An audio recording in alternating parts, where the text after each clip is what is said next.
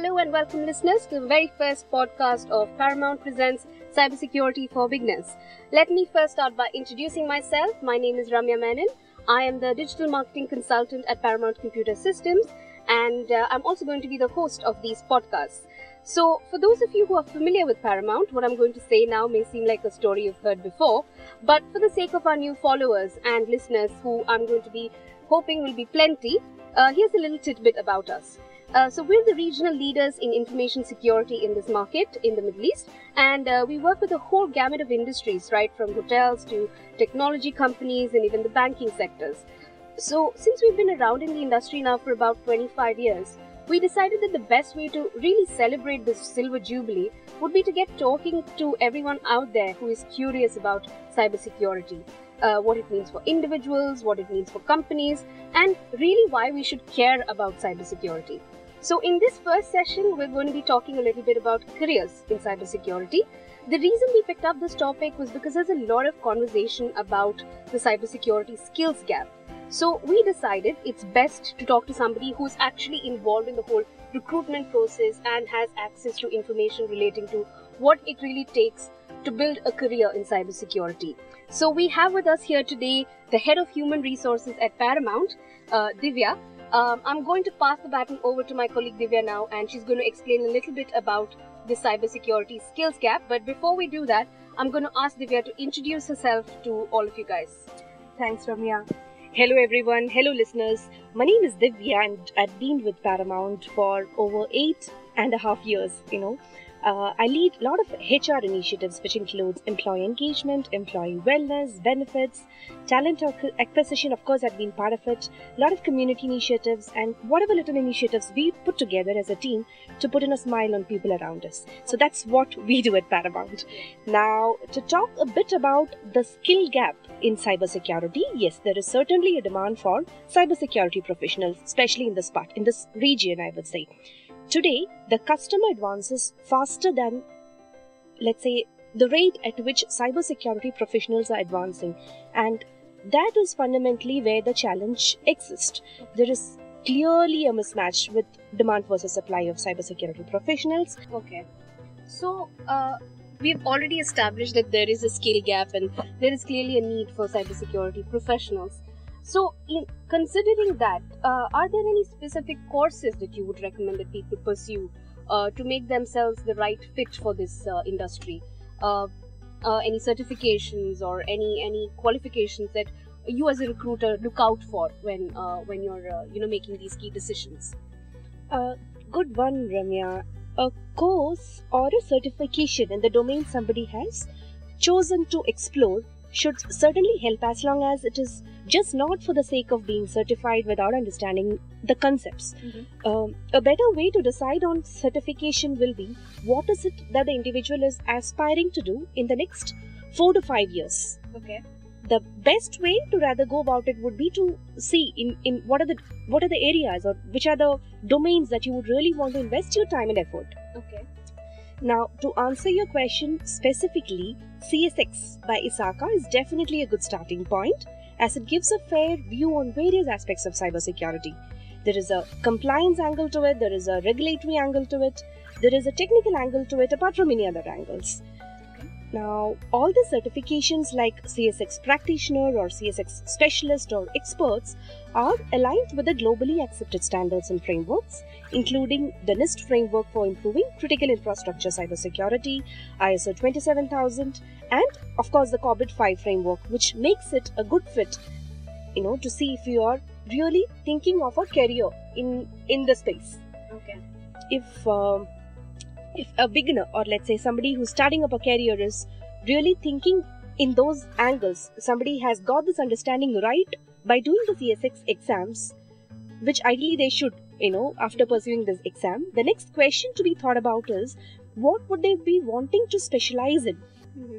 If uh, somebody decides to specialize in, let's say, the technical aspects, or somebody wants to take a route of a technical specialist, then the recommended certifications will be something like a CISSP or an LPT or a CEH or other relevant certifications by SANS. Okay. On the contrary, if somebody decides to be on the functional role, then he or she could get into the solutioning space, like a GRC or a risk management or anything related to the enterprise risk management module. Okay. Now, the third option could be to be in the compliance bit, like somebody can go for a certification related to CISA, CGEIT, C risks, or others. Now, the point that has to be emphasized is certification alone can't be a, a benchmarking for anything. Okay. Uh, the concept of certification was for people to rather experience a complete life cycle to get an understanding and then apply in the real context. However, the shortcuts to rather clear the certifications have really spoiled the essence of it. Now, certification is construed very differently today.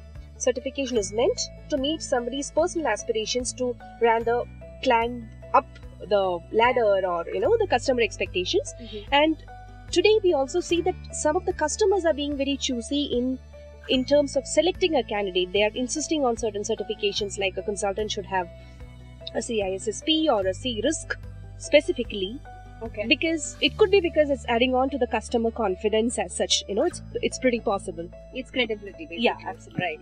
So, um, clearly there are a few courses which add value. Uh, what we'll do for you guys is we will leave the links to these courses in our transcript, so you can look it up and you can uh, get the information regarding these uh, certifications from those links. Uh, now, moving on, we did discuss uh, certifications. Now, the other big area that people look at when it comes to recruitment is uh, skill sets. Um, what kind of skill sets are common to the people we recruit, if there are any? Uh, Divya. skill sets today is being perceived very differently Okay. all the skill sets today are short lived we have to change as everything around us has changed everything around us has changed be it technology the technology has changed the process and the approach around us has changed now to elaborate skill sets could be either a soft skill or a hard skill or a mix of both Mhm. now for most of the domains it needn't be cybersecurity specific Mhm. most of the domains today demand a combination of a soft skill and a hard skill for that matter and that is typically what even we look for in paramount and that's what we've been looking for all the time Right. ever since you know we've been in this space Okay. So, uh, like with any other industry, the cybersecurity industry also is very dynamic. So, keeping yourself uh, dynamic and not restricting yourself to your uh, area of expertise is uh, is essential uh, in this in this uh, industry right now. Now, um, let's move past the recruitment stage and get into the actual career now. How easy is it to progress uh, in your uh, career with cybersecurity? Um, is it easy or is it difficult or is there is there a certain point beyond which do, people don't see any progress? Uh, what has been your uh, observations regarding this, Divya?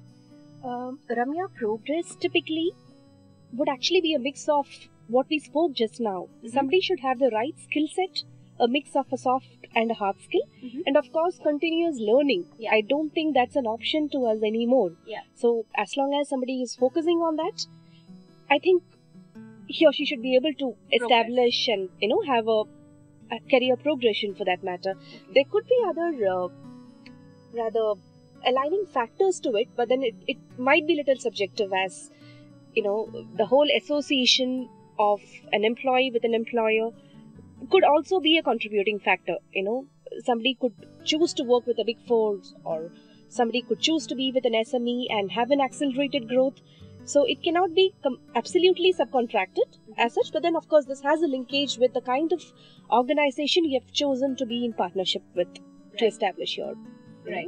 end result Right. So, uh, which which means that, like any other career, uh, with cybersecurity, there is obviously scope for progress, but it is very dependent on the individual. Uh, right, Divya? That's that's Yeah, yeah, clearly the yeah. So, considering all of these factors, um, would you think that the cybersecurity in the UAE has matured compared to other Middle Eastern countries uh, in terms of understanding from the customers end and also in terms of talent availability and so on and so forth? Hmm. In terms of um, how cybersecurity has evolved in this region, anybody wanting a high level of protection in information assets will need the right combination of three things. One is people, process, and technology. Mhm. Now, the key is in this combination. Okay. The question to be asked is do we have the combination right? Okay. Let us look at each of these units separately. UAE traditionally has been a country that has been the best in when it comes to attracting talent.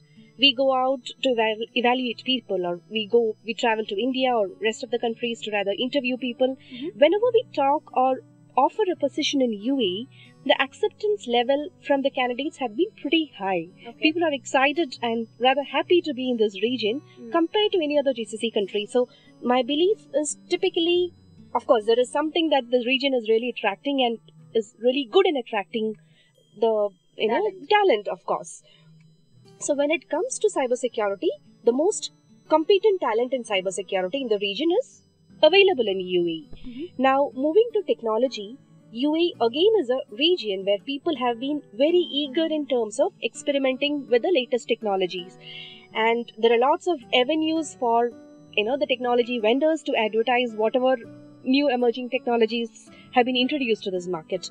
Now, because of these two aspects of UAE, all the major vendors have also focused in UAE and they have used this country as a base in spite of the fact that the volume of business could be actually bigger elsewhere. It Right. you know be, be it in Saudi Arabia or any other geography for that matter. Okay. Now, so as UAE has the best of people, the best of technologies, and process could be because the government of UAE has been mandating ADSIC compliance or ISR and NESA. All the government entities are ensuring to comply with these standards. Okay. Now, if even before all these standards have been established, you know, uh, most of the government entities have been um, sticking on to the ISO 27001 standard. Okay. They've been endorsing to it big time for that matter.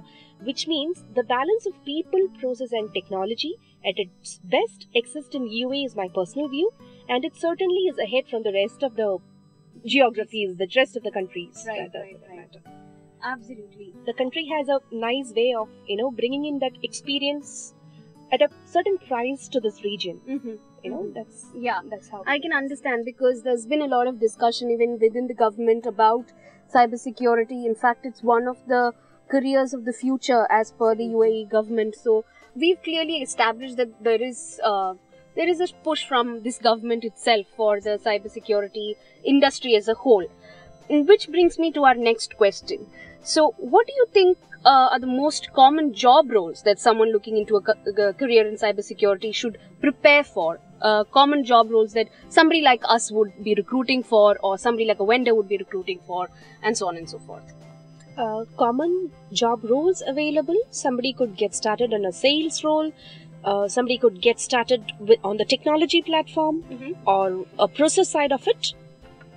Or option 4 could be a r&d completely you know on the research and development part.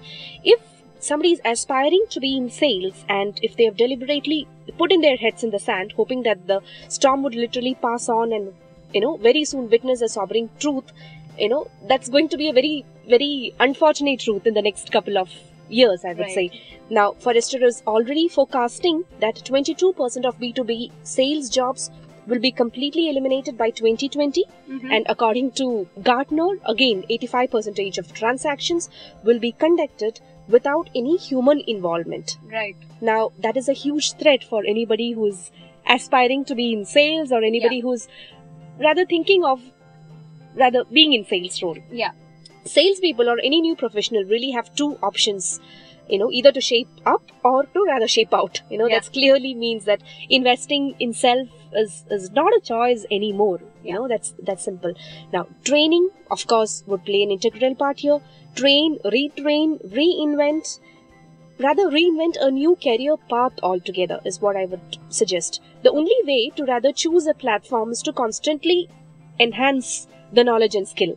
Get connected with thought leaders in social media or other platforms or uh, engaging with see that is typically because any customer would ideally be wanting to engage with a salesperson who understands the domain right, and the industry better than a very generic salesperson. Okay, so if the whole industry is heading in a specific direction Mhm. i think people aspiring a career should also take this into consideration that's bit about sales now for those keen on figuring out an option in technology or on the process side of information security it is recommended to avail the courses that we spoke about earlier and dive deep into the areas or the domain of their choice, be technology or Yeah. the compliance or the process side of it. At Paramount, we have a lot of options for that matter Mhm. uh, to get into a career.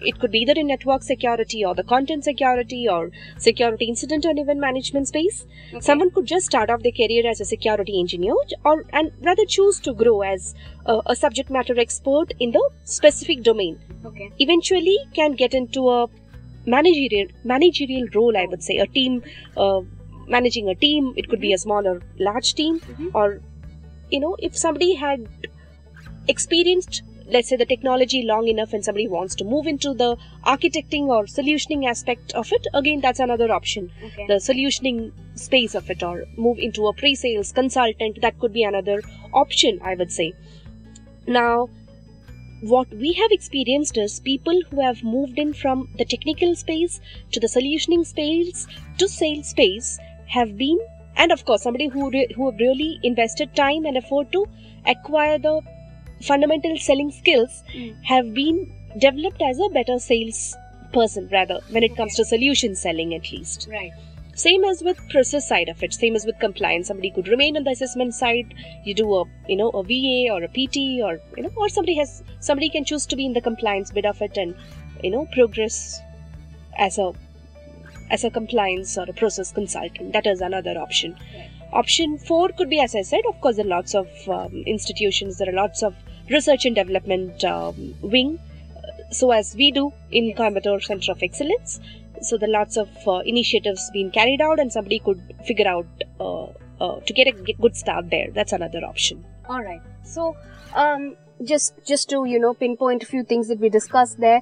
Um, if you're looking for a purely sales uh, role, uh, maybe you need to reevaluate that because the whole uh, industry's approach to sales has completely changed and is going to change even further in the future.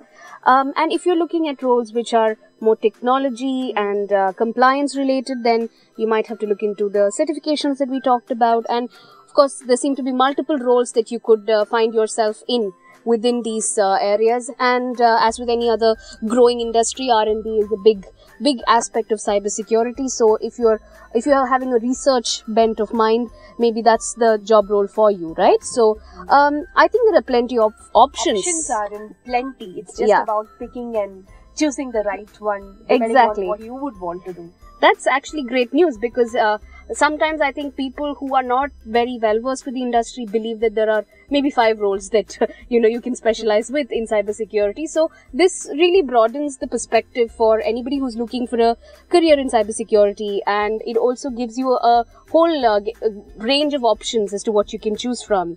Uh, right, Divya? Yeah. All right. So I think we've covered quite a few of the burning issues uh, in cybersecurity today. And uh, thank you so much, Divya, for uh, enlightening Thank you us. so much ramya I, I just hope the listeners have benefited you know from whatever little conversations we could have. If there are more we'll be more than happy to address them That's great. Yes, absolutely. I'm sure the listeners will uh, benefit uh, plenty from this, Divya. And if you guys have any questions for us that you'd like us to uh, take up on our next sessions, uh, please do leave us uh, your questions in, in the comments. And uh, stay tuned because we're going to be having regular podcasts on iTunes, SoundCloud, and uh, YouTube. I'm going to leave links for all of those in the description. And uh, I'm also going to be leaving a transcript for you all to go through with links to, like I said, all the certifications and any other, you know, uh, reports that uh, Divya talked about with Gartner and so on and so forth. So you guys can take a look at it and you can come back to us any anytime with questions. We're more than happy to talk to you guys. So um, this was our very first podcast, so if you've had a few bumps along the way, uh, please do excuse us. Uh, I'm sure we'll get into a more comfortable professional space in a bit. Uh, until then, thank you so much for your patience and thank you so much for tuning in.